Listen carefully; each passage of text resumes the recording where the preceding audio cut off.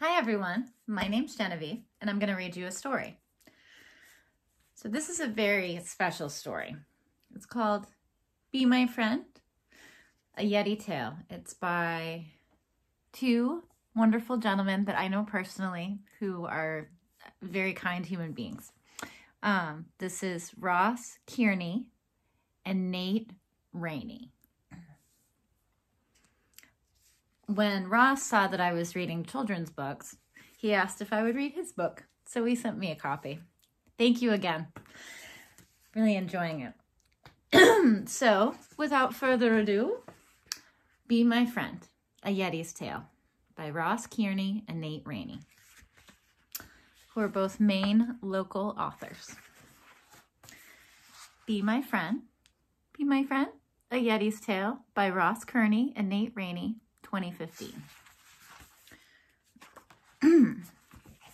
so the first is just words. Once, atop a mountain, in a place called the Himalayas, there lived a Yeti who was all alone.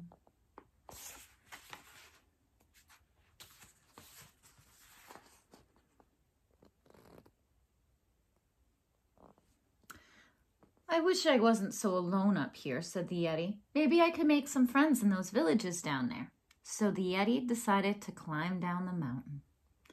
On his way down, the Yeti came across a beautiful cabin.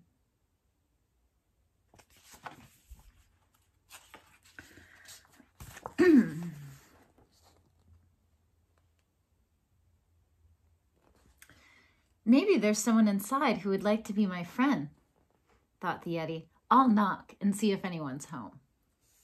Smart idea. Um, an old man opened the door, then screamed and slammed it when he saw the Yeti. That's too bad. He seemed like a nice old man, says the Yeti.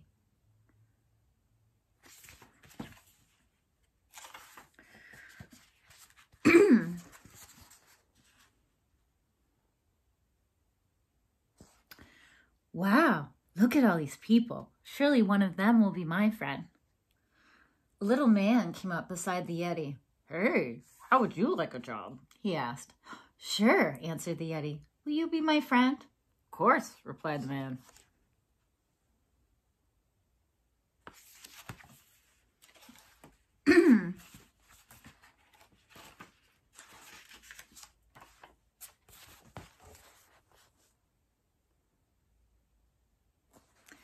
Yeti was happy with his job. Lots of people came to get their picture taken with him. A brother and sister got their picture taken with the Yeti. Will you be my friends? he asked. The children looked at him funny and then walked away.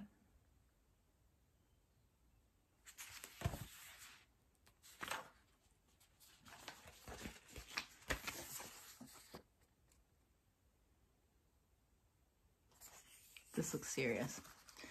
Mister, why will no one else be my friend? asked the Yeti. The man answered, Be quiet and do your job. Do you want to see a movie tonight? asked Yeti. The little old man became angry. What am I, your friend? Get to work. So Yeti left. Friends shouldn't treat each other that way, he said. That's a smart Yeti. Friends should be nice to each other, huh?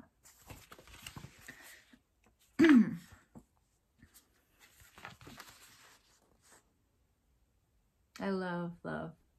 These might be my two favorite pages. Artistically, the drawings are really cool, right? the Yeti headed west, hoping to find a true friend. There doesn't seem to be anyone else around, thought the Yeti, standing before a tall, tall castle. Maybe whoever lives here is just as lonely as me. Love the contrast.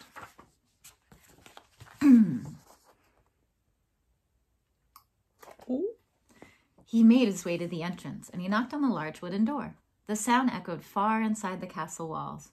Good evening, said the pale man. I am Vlad. Would you like to come to dinner?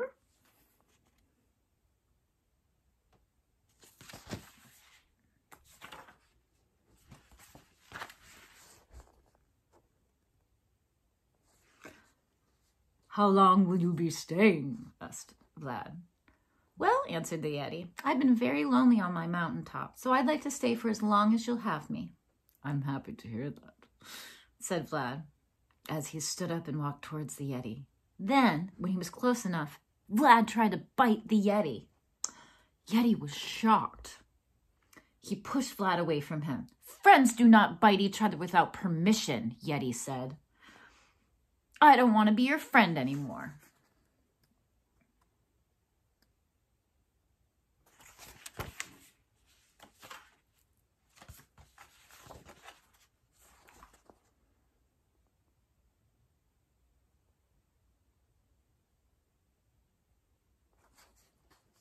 Yeti left the castle and continued his search for a true friend. Note the sun. Isn't he cute? The Yeti soon found himself in a city called London. He couldn't believe his eyes. There are so many people here, squealed the excited Yeti. Someone here must want to be my friend.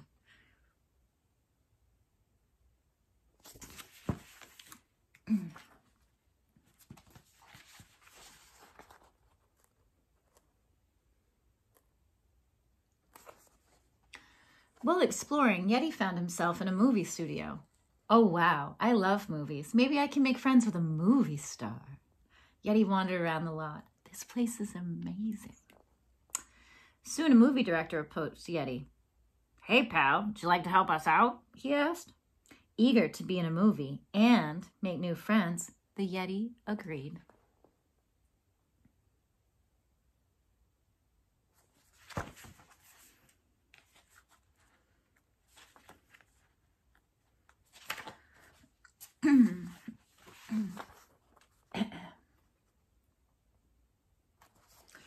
The director brought Yeti into a big room full of cameras and lights. He introduced Yeti to a young actress.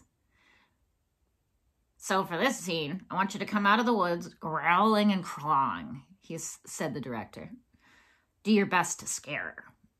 But I don't want to scare her. I don't want to scare anyone. Can't we all be friends? asked Yeti.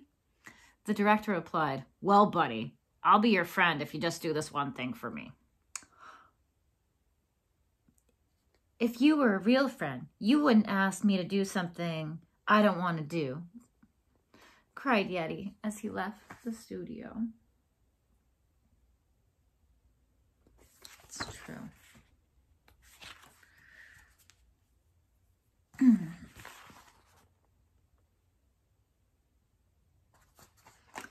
Yeti continued north. The city and movie people weren't for him. I'm tired of walking, complained Yeti. When will I ever find a friend? Yeti found a massive lake and sat down by its shore. It's so quiet and lovely out here, kind of like home. Maybe I should just stay here and save myself the walk back.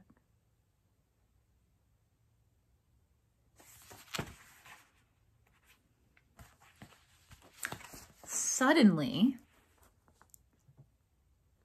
suddenly a flying saucer appeared blinding the Yeti with a weird light. A strange voice came from the saucer. We've come to take you to our planet for our zoo. The light began pulling Yeti up into the sky. Ooh. But then something came up out of the water. It was Nessie, the lonely monster of Loch Ness. She grabbed Yeti's leg and pulled and pulled with all her might.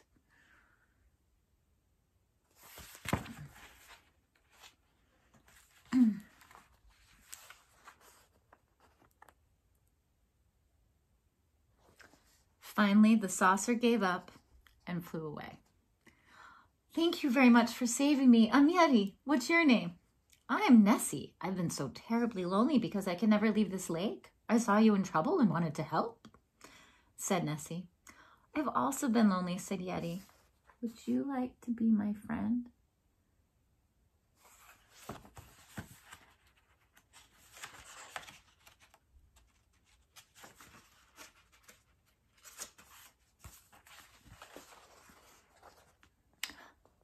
I'd like that very much, said Nessie. So Yeti and Nessie became true friends because they really cared about one another. They lived happily ever after, playing together and enjoying each other's company. The end. What a wonderful story. So, after this, the back page talks with the author, say thank you. So Ross would like to thank Jess, who convinced me to write the story down, and Suzanne, without whom I never would have published it. And Nate wants to thank Carol and Donnie for being cute, Arcadia National Bar, and Ross for an exciting opportunity. Isn't that sweet? It's all about friendship. They even mentioned their friends, authors and illustrators. Does. The end. Oh, and this is the back. It says Good Yeti Books. Thank you for listening today. My name's Genevieve, and I read a very special book called Be My Friend. Be My Friend. Um, it's a Yeti's Tale by Ross Kearney and Nate Rainey. Be My Friend. It's so sweet. Um, well, thank you for listening today. Uh, again, my name is Genevieve. Make sure you are sweet to yourself and sweet for your grown-ups and take care of each other. And listen to your adults. They know a lot about the world. And make sure whatever you do, kindness goes through. And most importantly, be excellent to each other. Thanks. Take care.